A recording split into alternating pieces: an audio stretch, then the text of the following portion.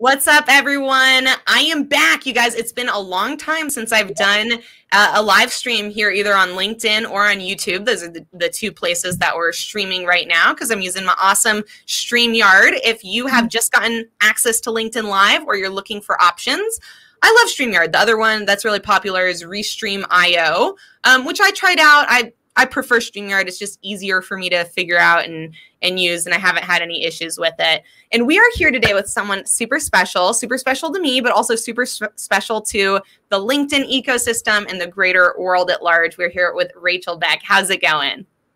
Good. Thank you so much for having me. I was, excited to do this. And luckily, I've been fortunate enough because I just filmed you and you're coming to my show. So I'm like really excited we get to see each other twice this week. Yeah, I know. It's really cool. And you guys, there's a great suggestion. If you're ever going to do an interview with someone, do a podcast, see if you if you can do a swap. It works out super well. It's a great way to support each other and you get twice as much content. So why wouldn't you do it, right? Um, so for people who don't know who you are, which how do you guys not know? Come on now. Could you mm-hmm. give just a little bit of intro to yourself? You know, what are you passionate about and, and who are you as a person? Um, I'm really, really passionate about so easy to leave a footprint of positivity versus negativity. And that really stems from that I've had three moms in my life, right? So I've had the mom who died two days after giving birth. Then I have the um, woman who took care of me, my foster mom, when who took me into her home before I was adopted. So, and you know, my then I have my biological father who I'm trying to find, and my father who adopted me, who's my father. So I've had five right? Five parents in my life. And I'm grateful for all of them. And I feel like they made a choice when it came to me. I mean, they really truly made a decision. So my legacy deeply matters to me. So I really, I walk in their, I'm walking in their footsteps. Um, cause three, you know, that that's what I'm trying to do. I'm trying to like give back to the people who took a chance on me in life by by paying it forward, not just giving it back. Like yes, backwards, but also really looking forward. And I love this footprint analogy, but paving the way with your literal footprints and your literal steps that you are taking. Um, it's kind of like you know if you were out in the snow, right, and you've got feet and feet of snow. I'm if if you've never been in snow, it it can be a, a difficult thing to trump through if it's it's kind of high. And if you've ever kind of been out walking around. Um, you'll notice that it's way easier to step in someone else's footsteps. And I think this is probably where the I don't I haven't looked into this, probably where the analogy comes from is that when you're crossing rough terrain, difficult to traverse areas, literally stepping in someone else's footsteps makes it so much easier to make progress and go the direction that you're headed. So I'd love for you to share more about what, you know, outside of positivity, which is I think a really incredible thing, but also a really broad thing. What specifically are you doing to kind of like pave ways for for others? Because you do a lot of that. Thank you. I'm I'm trying to set an example that um, social media can be used for good. That it, it doesn't need to be negative. I'm trying to say that you can use social media, you know, in a good way, and that you you can open doors for other. It does not need to be selfish and that's my biggest problem. One of the many problems I have with social media is people tend to use it in a selfish behavior, right? And that's not the path. You know, we grew up with tzedakah, we grew up with mitzvot, and so that's what we choose to to use it for. We use it. We use it to say, "Hey, guess what? I'm going to open these doors for you. I'm going to let you walk through these doors. Here's an incredible opportunity for you, because that's what we're supposed to do, right? Mitzvot. Absolutely. And for people who don't know either of those words, I'll, I'll ask you what what is tzedakah? Like, what is it literally, but also what does it mean to you? Uh, tzedakah means in uh, Yiddish and Hebrew, it means um, charity to give back. And I've been learn. I learned about that. Probably uh, my earliest memory is like two to three years old, probably three. And you'll know this: the can we put money in from the uh, JM, JNF that would go to money for trees and tzedakah. And also, my parents are huge into tzedakah.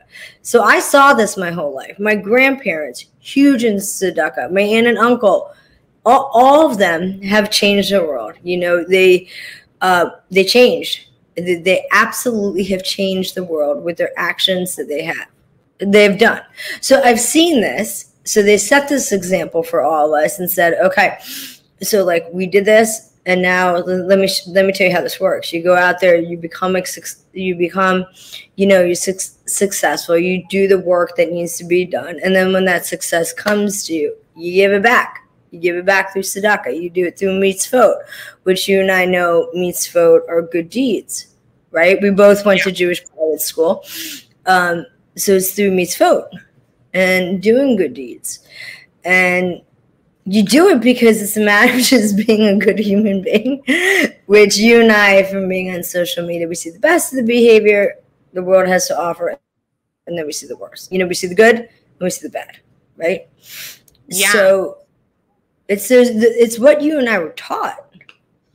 Yeah, I, I want to ask you about that because I also, um, when I was growing up, you know, outside of the tzedakah boxes that you would put, yes. the, you know, uh, money into we also like my parents forced us to do good things even though like right as kids a lot of times you just want to play you just want to have some candy you're maybe not like naturally in your heart you want to be nice and good to others but sometimes you you don't want to do the things that your parents are saying look you got to do this because it's the right thing to do and so for me um, we had uh, i think it was like my great uncle ab um, who was in a, a home and it was, it was like a jewish you know um, old old people home. That's what we call it, old person's home. And after synagogue every week, we would go walk like an extra one or two miles um, to the the old person's home to visit my uncle Aby, and he um, was not a hundred percent like coherent and lucid. Like he was very old. Um, and also, I remember like I never wanted to go one because I was already tired from walking all the way to synagogue, which was another you know one or two miles being at synagogue, having to like pay attention. And now we had to go walk more into a place where I thought it was stinky. Like I, you know, so sometimes those homes can have kind of like a smell of medicine or like the food that they made wasn't that great. So the food was like a little bit stinky. Um, and I was like, I don't want to go to, and again, as a kid, I was like, I don't want to go to the smelly old person's home. Um, but my parents said, you have to do this. It's the right thing. This is family. And there's lots of other people there who love when you come, Maayan. You bring a lot of joy. You're going to do it and you're going to like it.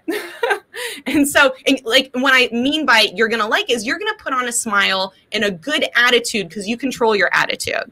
That's and right. To you, you're going anyways. So you can choose to be, you know, annoyed in this, but you're not going to do that. You're going to make the choice to to be happy and to spread light and spread joy. And when I was a kid, it, you know, I didn't realize how it was going to affect me as an adult. And so I'm curious for you, two questions. One, did you have kind of a similar experience or did you from like even a young kid be like, ooh, I'm excited about, you know, doing these really good things. And then two, how do how what's your perspective on like people who didn't grow up with that? Do you feel like a responsibility to, to help be an example for them? Like what just what's your thoughts on that dynamic around, right? Many people in the world grew up either without those good examples and people in their life or even the opposite. They had people who were, you know, spreading and, and exemplifying negativity. Um, so I'm curious to hear hear what you Actually, both. There's both. Okay. So because you and I saw the example, we said, okay, we're gonna take this example and do this out into the world. And I I, I don't talk about a lot of stuff that I do. Um, I do a lot of stuff like behind the scenes that nobody knows about. But it's because of the example for my parents and for my aunt and uncle and for my bubby and Zadie.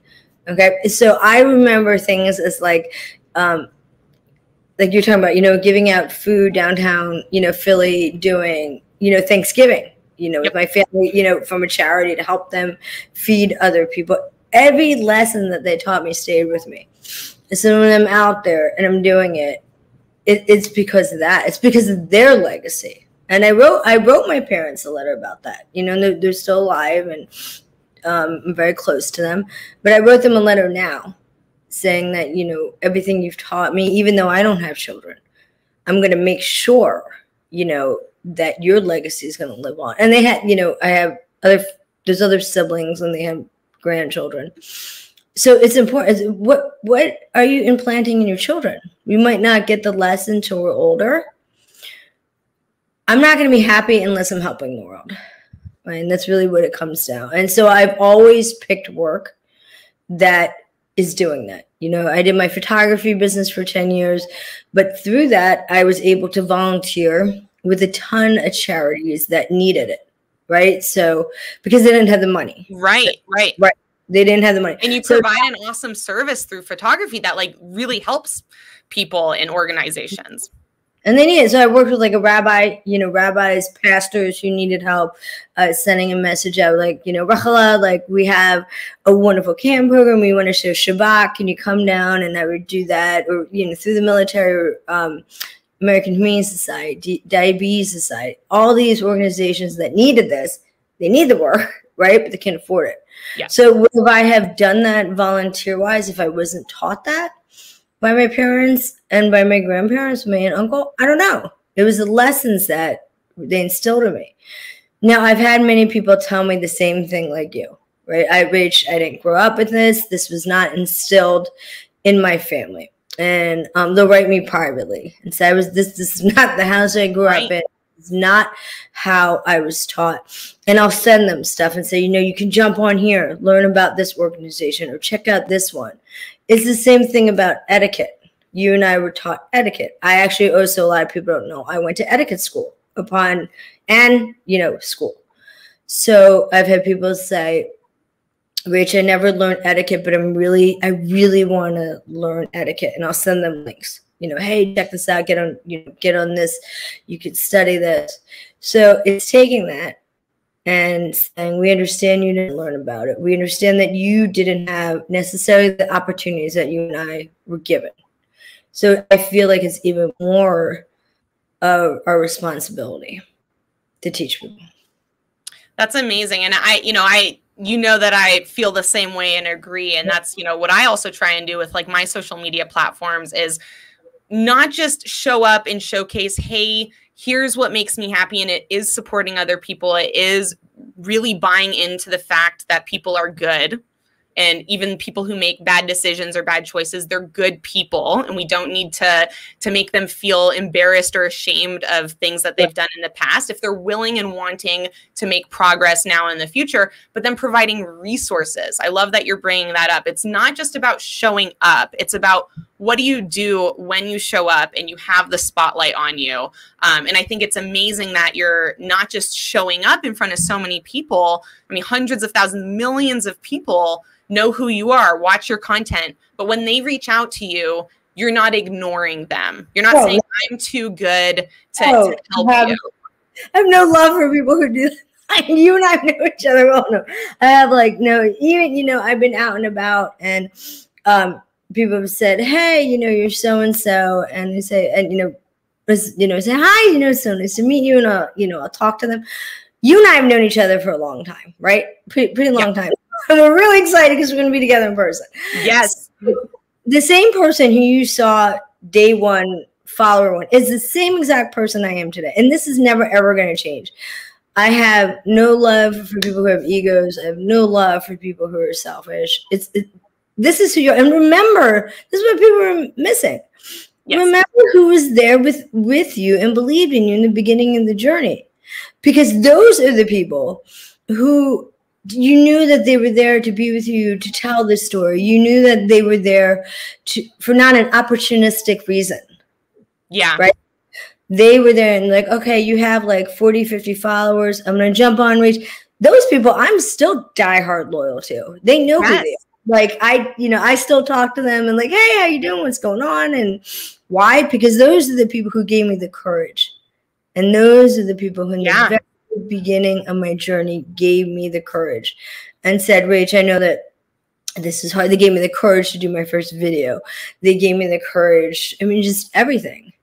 And said, and said, you know, they said certain things that said, you know, step into it was like there was like three or four people that really changed my life on LinkedIn. They know who they are. And one of them stepped said, you know, step into who you're going to become. You might not see it, but I see it five years down the line.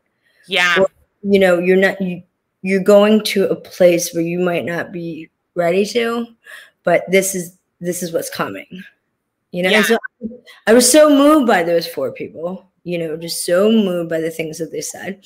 And I'm trying to take that to my network and tell them every day, get up, get going. Like you can do this no matter how hard it is. Yeah, I love that. You're, I mean, you're bringing up the same concept, which is someone had an impact on you and now you want to pay it forward. And I've had that same experience. Like there's a handful of people that I connected with, you know, kind of first couple months I, I hopped on LinkedIn and they've profoundly changed my life. And even if I'm not currently, you know, frequently messaging, although most of them I, I am because I, I love to just hang around those types of people. Um, but there's a couple, right, that I don't talk to super regularly right now. It doesn't mean that I've forgotten what they did. And right. what they did early on does not fade just because time has passed. It is still just as significant, no matter how much success I have moving forward. That moment will always be that moment that led me to this moment that led me to the next one. Um, so I'm I'm really oh go ahead. It's loyalty, Maayan, right? You and I, but like I will always be loyal to you. It's never gonna. I remember when I first started writing on your post, and I was like, "Hey, Maayan, like, hey," I'm like I just joined. I'm like, "Hey, Maayan, welcome to LinkedIn." Because you just like come over there, but you were doing this, and then we started talking, yep. and but that's how it is. So it, it's it's the loyalty of friendship. You know, I'm not talking romantic. I'm talking about loyalty of friendship. You know, there's nothing like it. That's what it comes down to. Like you, we didn't get here on our own. Let's acknowledge that. You know, we have we have people who believed in us. We've had people who believed in us from day one and that still believe in us. And that's a loyalty of friendship. I never ever said I did this on my own. No, I yeah. did it with a huge support system that is my network. Yeah, and I think it's also it's loyalty, but it's also integrity, which is something that I think you have a massive amount on. And just for everyone watching, when I say integrity, I mean to your own core values and beliefs. And that's why I think both of us honestly are, are successful on social media. And a, a difference I see between like myself and, and when other people come to me for social media consulting, and I tell them, look, if you really want this to work for you, it is going to take pretty hefty time investment. Like you have to talk with people. You can't just do a post and then like hope that that's going to change your life. The people who leave the post, yeah. we're like, oh. Yeah, yeah and, and I think it's that um, tied to you know that integrity to your own values that both of us have connected to paying it forward that makes us enjoy not just willing to do the work but enjoying doing the work. So like i have a lot of people who they're like look i don't want to be on social media. I don't want to be on it for three four hours a day. And to be honest i feel the opposite not because i like social media but because i love people. And the people that i can help are on social media and i love helping them. So i if if you gave me a million bajillion dollars uh, more than a million, right? Like you gave me billions of dollars, I would still spend hours every single day, maybe not every single day, but most of the days on social media because that's where I can help people the most and help people in a unique and a profound way. And I know that you get that too. Like you don't have to be on social, neither of us have to be on social media as much as we are, but we feel a responsibility because of the integrity that we have to our own core values. Yeah, and I just said that my post yesterday. Was, that's all I said. I was like in a quote. I was like, social media is a responsibility. Please understand that because some people are missing that. You know, they post something, and I'm like, oh man, you just put that out into the world. This is just, it's a horrible thing to put out into this world right now. So yeah, I think we're con- we were conscious of the words. And listen, Maayan, I'm always honest with my network. Not perfect, make mistakes, and I'm not a freaking angel. That's just what it comes down. Like people are like, oh, I'm like, uh, no. like there's things I do.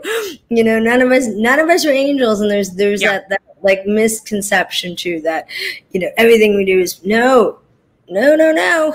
like, so I try to share that. I try to share the human side. I try to share the mistake. I share the tears when it's necessary.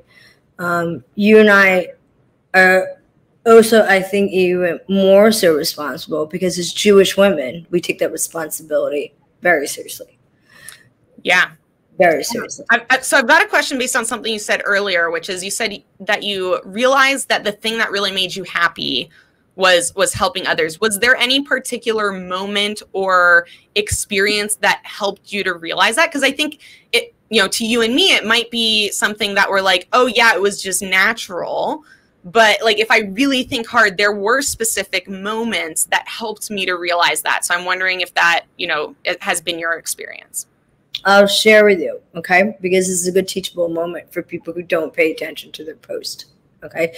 So I was scrolling through one night, like a Friday night or Saturday night, and I was going through my feed, and um, twice, not you know the same week, but a couple months apart, uh, someone had written, "It's the last day of my life," right? And wow. so my heart stopped.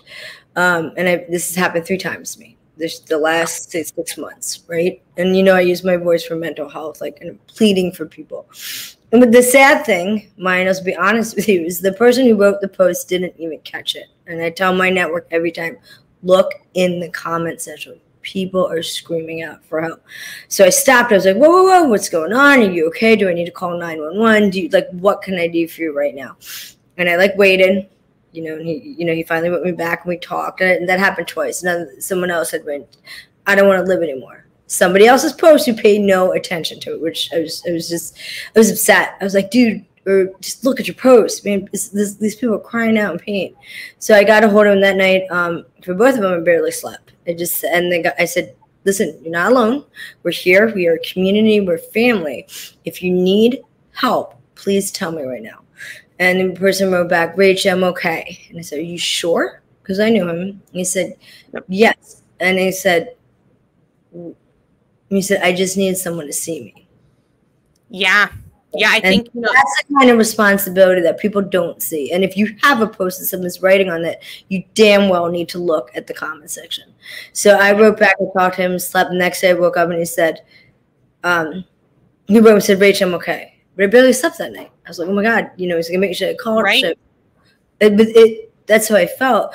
And I had another situation where someone had written to me, um, you know, in DM privately, and, and I'm just two of these republics. I'm just sharing this without sharing right. name, obviously. Had said it's the last day of my life, and I said, "What are you talking about?" You know, and I pulled my car over. I was in the car talking to him for 45 minutes. I said, "What's going on?" The guy had lost his job, had was responsible for like a lot of children, right? And he didn't know how he was going to do it. I said, "Listen, yeah. what you, you can't do this like right now. Like what do you need? And he said, I need someone to like look at my resume. I said, give me 24 hours, please, please. So I took his resume, gave it to my friend who shows resume. But, and then he wrote me the next day, hey, Rach, I'm here. Like, I was like, but th- this is reality, Maayan. This is yeah. what's going on right now. And this is why when people like, why are you so, why are you so, um, such an advocate for mental health? Why? Because people are on the verge right now. And yeah. so when I see people pushing somebody in a negative direction, it just infuriates me. Right? It just infuriates me. Yeah. So I'm I'm curious because I I resonate with everything you're saying. Um, I feel deeply connected to those exact same issues in the exact same ways. And for me, part of where that not only responsibility but just emotional i cannot behave in a different manner comes from there were times in my life where i was in a really dark place and i felt like i was on the edge um, and yet i completely right we're taught so well how to mask our emotions in society no one on the outside knew there was a problem. But the problem was deep and it was painful and it was like every moment you don't know what to do about it because it's so intense it's so so difficult to deal with. And you're too scared or too ashamed to tell anyone especially because you're like they all think that i'm fine. How am i supposed to show up and say i'm not fine? Especially when i already feel like they're judging me or they have these different like they don't they already don't care about me when i'm okay. Right. If I say I'm not okay and then they still don't care about me, that will crush everything that's left inside of me. And so, l- like you, when I see an issue or when someone comes to me, it's like I will take whatever time is necessary to show you and really make you feel that someone cares. Because when you feel like not a single human being on the earth cares even enough to answer your message, cares even enough yes, to do this, it crushes any little bit of hope that is left inside of you. And sometimes, you guys, hope is the only thing, even a little smidgen of hope is the only thing keeping people left alive. Especially this last year, let's be honest. Yeah. Since the pandemic, right? So you talk the most desperate messages I've ever seen have been since the pandemic, right? Or like people write me privately, to, you know, tell me what's going on, and I'm like, so it, it's almost it's almost like our it's part of our job to say, please take care of human beings right now.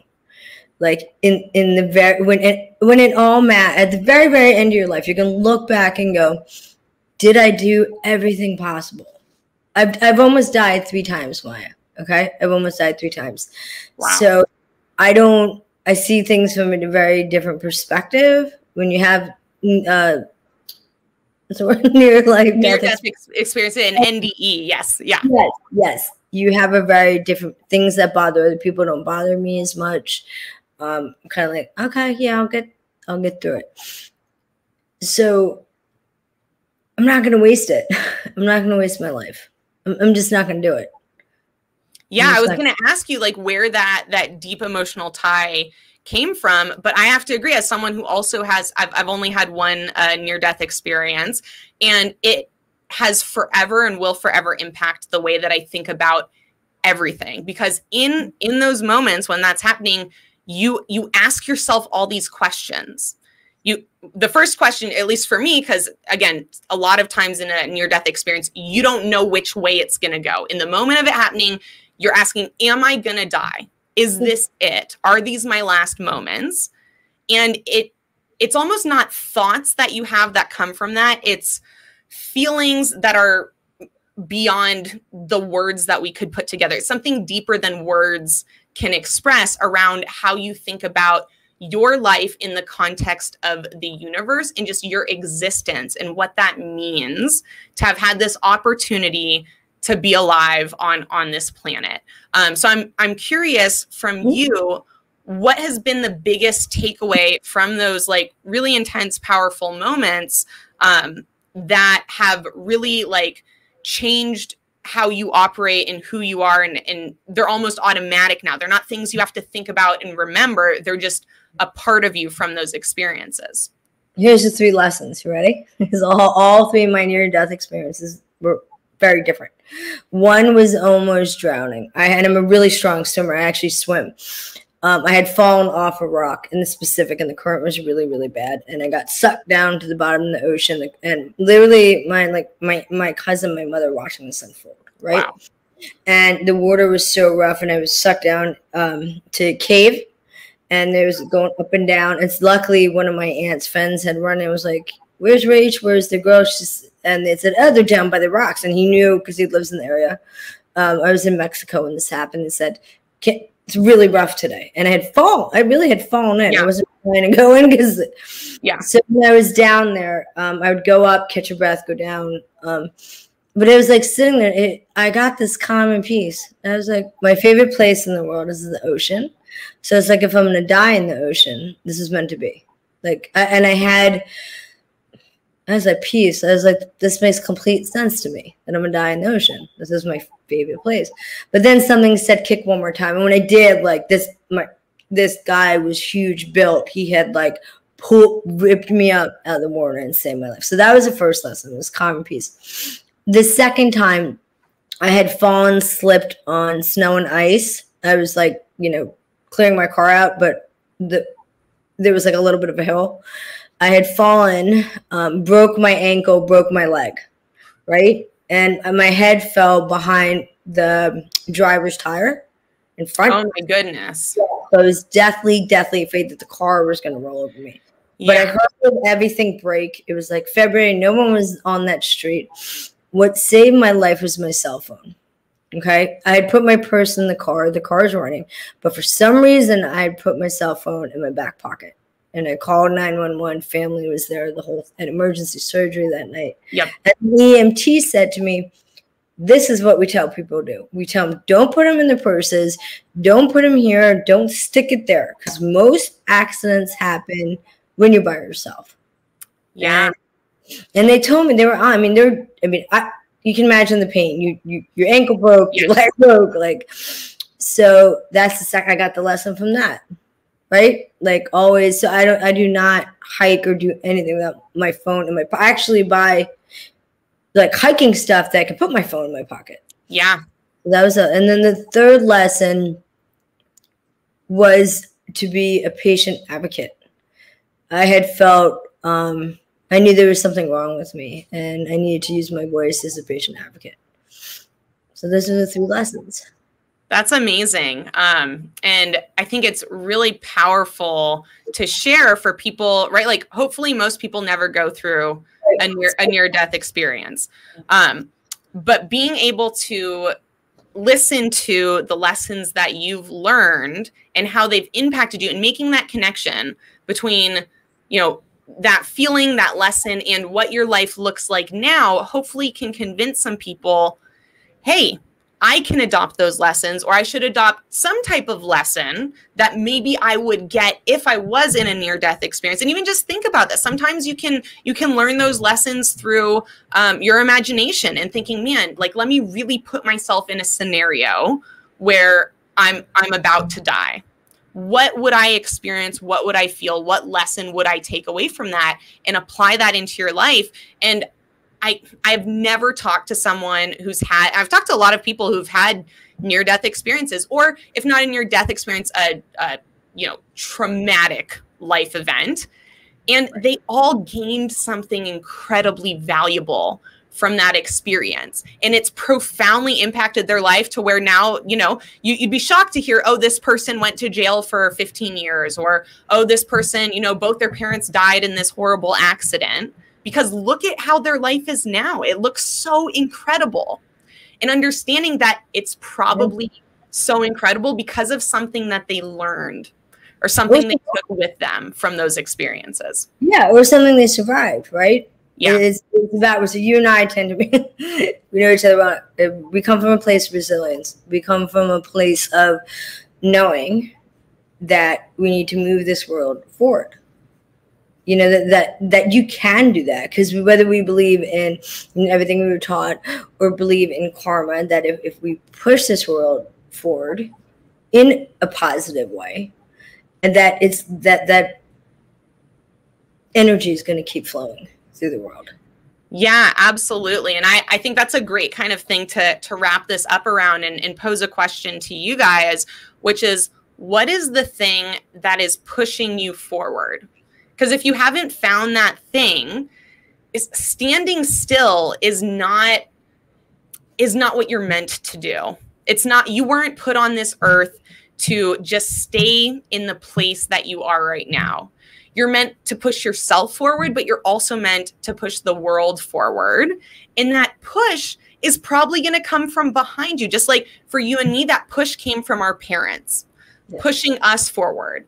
But everyone has something that can push them forward so that they can push the world forward. And so I, you know, I'd encourage everyone watching, listening to this right now to ask yourself if you don't have an immediate, clear answer, what is pushing you forward, to look look back into your past, to look into your heart, look inside, and think about what what makes you feel that push what makes you feel like you just got to go do something about it whatever that it is what is so compelling in your heart that you can't stand still?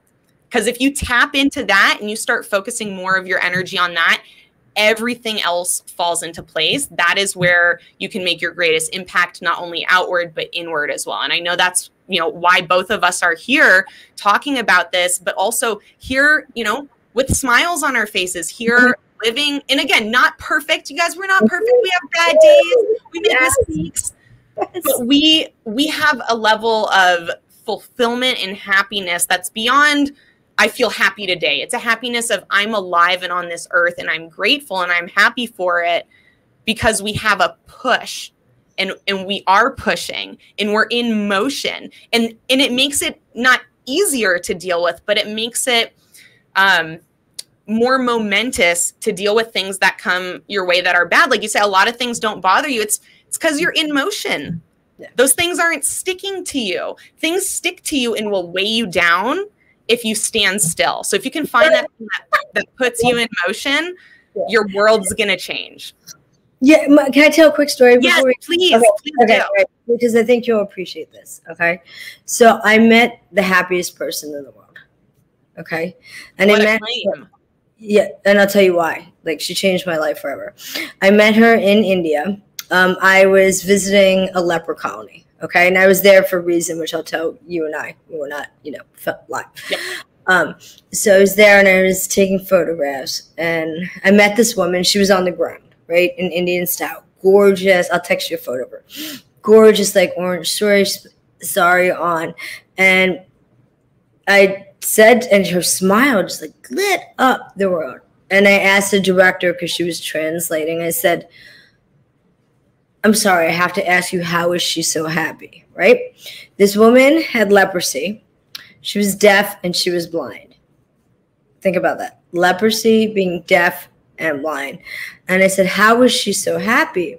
He said, "Rachel." She was living on the streets and we took her. This, this is a leper colony, right? Everybody there has yeah. leprosy. And she said, Rachel, she was living on the streets. We found her and we took her in, and she's grateful to have a home. And, and when I'm telling you, this is the middle of nowhere. This is the middle of nowhere where I was at in India.